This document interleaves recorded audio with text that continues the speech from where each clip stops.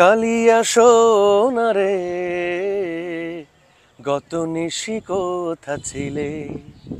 তোমারও লাগিয়া মালাটি গাথিয়া তোমারও লাগিয়া মালাটি গাথিয়া ছিঁড়ে ফেলেছি সকালে। গত নিশি কোথা ছিলে?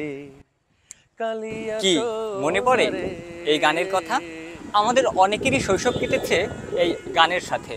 তুমুল জনপ্রিয় সেই গানের শিল্পী রাজীব মাহমুদ ভাইয়াকে আজকে আমরা কাছে পেয়েছি। জানব এই গান এবং তার সংগীত জীবনের খুঁটিনাটি নিয়ে। ক্লোজ আপ অন প্রতিযোগিতার মাধ্যমে গানের ভুবনে এসেছিলেন কণ্ঠশিল্পী মিজান মাহমুদ রাজীব, যাকে সবাই রাজীব নামেই চেনেন। দু হাজার পাঁচ সালে প্রথমবারের মতো অনুষ্ঠিত ক্লোজ আপ এর প্রথম রানার্স আপ হন তিনি। বের হয়েছে একক অ্যালবাম সহ বহু গান। কি ধরনের গানগুলো আপনি বেশি করেন? আমার ভালো লাগে দেশের গান করতে।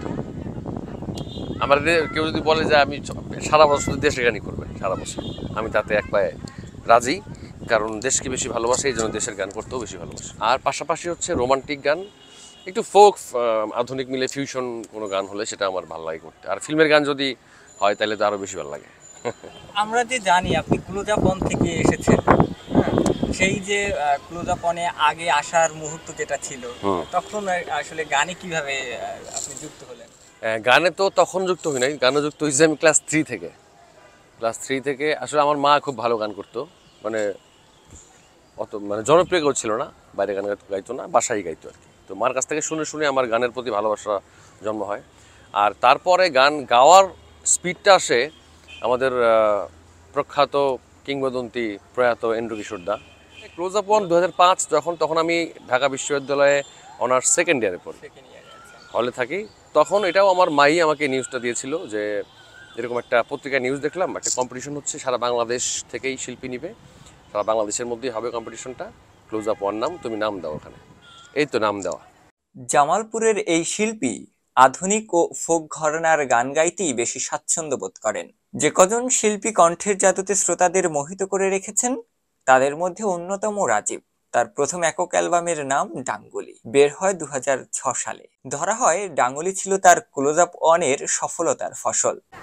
এই যে শুরুতে দিয়েছিলেন দু হাজার পাঁচে আপনাদের ক্লোজ আপ অনে আপনি প্রথম রানার আপ হয়েছিলেন। হ্যাঁ। তো এবং সেই যে জার্নিটা ছিল একটা কম্পিটিশনে তো অনেক দিনের একটা জার্নি থাকে, সেই জার্নিটা কেমন কেটেছিল আপনার? এটা তো খুবই মানে আনএক্সপেক্টেড ছিল আমার কাছে। কারণ আমি প্রথম রাউন্ডে টিকবো সেকেন্ড রাউন্ডে যাব third round fourth round final রাউন্ডে আসব, এটা তো আমি জানতাম না কখনোই।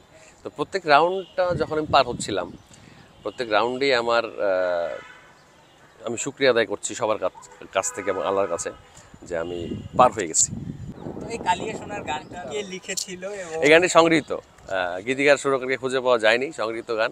এই গানের যখন আজ থেকে ওই গানটা বেরিয়েছিল দুই হাজার দশে। তারও আগে আমরা ইয়ে শাহবাগ জাদুঘরের সামনে আমরা আড্ডা দিতাম। তখন আমাদের ওই যে লুৎফর হাসান ছিল, রবিউল ইসলাম জীবন ছিল, অনেকেই আমরা তখন এখানে আড্ডা দিতাম। তো এই আড্ডার জায়গা থেকে গানটার সৃষ্টি লুৎফর হাসান আমাকে এই গানটার মুখটা আমাকে শোনালো ওই দিন। বলল যে আমি আর পারি না অন্তরা টন্তরা কিছু নাই জানি না কিন্তু মুখটা জানি। মুখটা নিলাম তারপরে কয়েকদিন পরে একজন এসে আমাকে একটা অন্তরা দিল যে এই গানের অন্তরাটা এইটা। এভাবে আস্তে আস্তে গানটার পুরোটা কালেক্ট করলাম তারপরে গানটা এখানে আমাদের অনেকের হয়তো প্রশ্ন আসতে পারে যে আপনার কি সেই কালিয়া সোনা কেউ ছিল? যার জন্য মালা গেথে হ্যাঁ, ছিল তো। ছিল ছিল অনেকেই ছিল। কলেজে আমি একজনকে প্রপোজ করেছি এবং রিজেক্ট হয়েছি একজনকেই। কিন্তু আমি রিফিউজ করেছি অনেকগুলো অনেক অনেকজনকে। যাকে আমি প্রপোজ করেছি সে আমার ফ্রেন্ড ছিল। আমাদের একটা গ্রুপ ছিল দশ বারো জনের মধ্যে ও- ছিল আমিও ছিলাম। আসলে যে আমার এখন বর্তমানে সহধর্মিনী তাকে আমি প্রপোজ করেছিলাম এবং রিজেক্ট হয়েছিল কি গানে কণ্ঠ দেওয়া হয়েছে বা রিসেন্ট কণ্ঠ দিলাম কয়েকটা গানেই দিয়েছি। আমি আমার নেক্সট কাজের কথা বলি। রিসেন্ট দেব যেটা। আমার সুর করা লতফুল ইসলাম শিবলি ভাইয়ের লেখা একটা দেশের গান আসছে সামনে। আর লুৎফর হাসানের লেখা একলা মানুষ ভার্সন টু টু আসছে, এটা সামনে আসবে। এই দুটো গান নিয়ে আমি খুব আশাবাদী, কারণ দুটো গানই ভিডিওটা আমি নিজেই করব।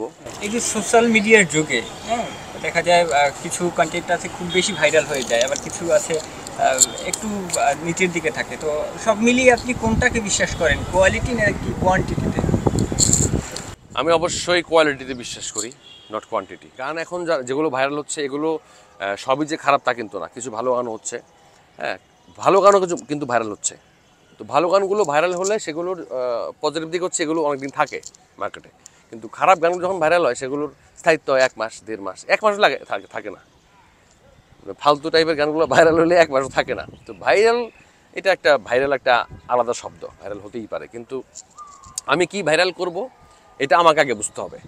আমার মধ্যে দেশপ্রেম থাকতে হবে আমাদের আমার মধ্যে আমাকে বিচার করার ক্ষমতা আগে থাকতে হবে। সকল শ্রোতা বা দর্শক কিংবা Jago news twenty four dot কমে যারা দর্শক কিংবা পাঠক আছে তাদের উদ্দেশ্যে কি বলতে চান গান গান নিয়ে দর্শকরাই তো সবচেয়ে বড় বিচারক। আসলে দর্শকরা আছে আমাদেরকে দর্শকরা শোনে আমাদেরকে দেখে আমাদেরকে ভালোবাসে এই জন্যই কিন্তু আমরা আছি।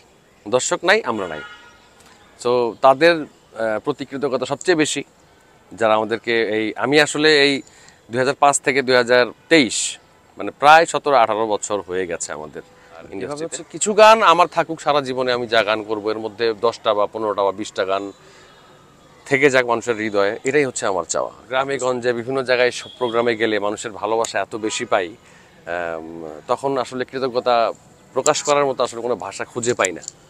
তো যখন এরকম আপনাদের মতো যারা মাধ্যম যখন পাই বিশেষ করে আজকে জাগো নিউজ টোয়েন্টি ফোরকে অনেক ধন্যবাদ জানাচ্ছি এরকম আমার সঙ্গে দর্শকদের একটা সেতু বন্ধন তৈরি তৈরি করে দেওয়ার জন্য। আমার কিছু কথা দর্শকরা শুনলো আপনাদের মাধ্যমে। এটার জন্য কৃতজ্ঞতা আপনাদের যারা আমাকে সিঙ্গার হিসেবে জানেন চেনেন তাদের কাছে আমি সারা জীবন ওই সংগীত শিল্পী হিসেবেই থাকি অসংখ্য ধন্যবাদ। Jago news twenty four dot কমে আপনাকে সময় দেওয়ার জন্য। আপনাদেরকে অসংখ্য ধন্যবাদ। আমরা শুনছিলাম রাজীব ভাইয়ের যে গান নিয়ে, গানের ভিতরে মজে থাকার কথা। এরকম আমরাও মজতে চাই। শেষ মুহূর্তে রাজীব ভাইয়ের একটি গান শুনতে শুনতে আমরা বিদায় নিব। আমি একলা মানুষ দোকলা খুঁজি, ভীষণ ব্যথার চোটে লো ভীষণ ব্যথার চোটে। তুমি দোকলা মানুষ, একলা হবা, কষ্টে নিশে কাটে লো কষ্টে নিশে কাটে। আমার আছে কোষানাও যদি তুমি চড়তে চাও। আমার আছে কোষানাও যদি তুমি চড়তে চাও। তোমার লইয়া যামু ঝিনাই নদীর ঘাটে, লো ঝিনাই নদীর ঘাটে। আমি একলা মানুষ দোকলা খুঁজি, ভীষণ ব্যথার চোটে, লো ভীষণ ব্যথার চোটে। তুমি দোকলা মানুষ একলা হবা। কষ্টে নিশে কাটে লো কষ্টে নিশে কাটে।